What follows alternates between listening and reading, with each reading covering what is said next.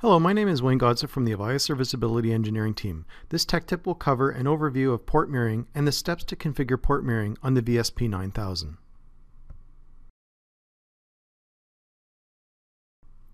Port mirroring is the process of sending an exact copy of network packets seen on one network switch port to another port so that the packets can be captured for analysis. The VSP 9000 is capable of mirroring entire VLANs or multi-link trunks on the system.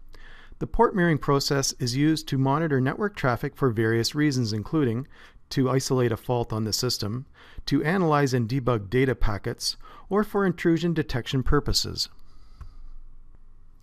In our tech tip, we will view the options available to us when configuring port mirroring using the question mark parameter.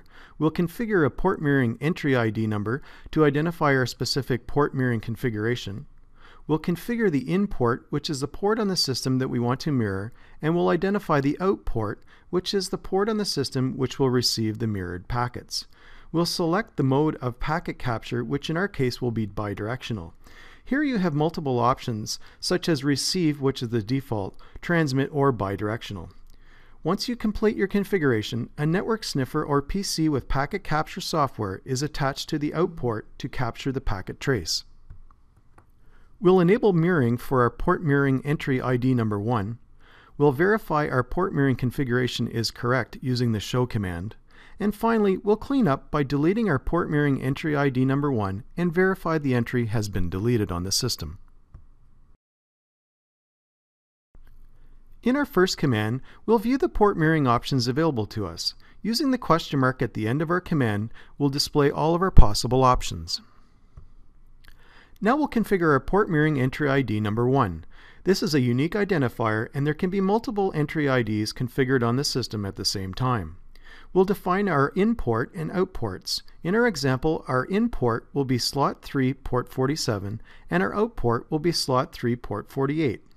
We'll configure our packet capture mode as bidirectional using the both parameter. At this point, we would connect our packet sniffer to port 348 to capture our packet trace originating from our in port, which was defined as 347. Next, we will enable mirroring on our port entry number 1 using the enable command.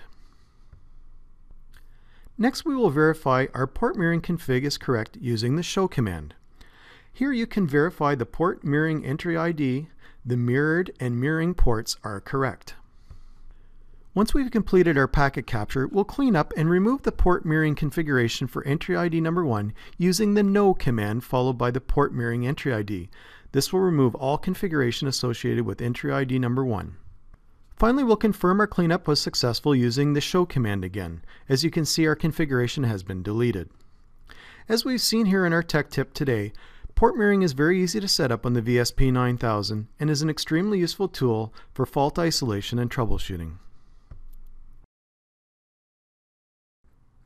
Thank you for your time today. We hope this information was useful. We welcome comments, questions, and feedback at mentor at avaya.com or on Twitter at avaya mentor. Thank you for choosing Avaya.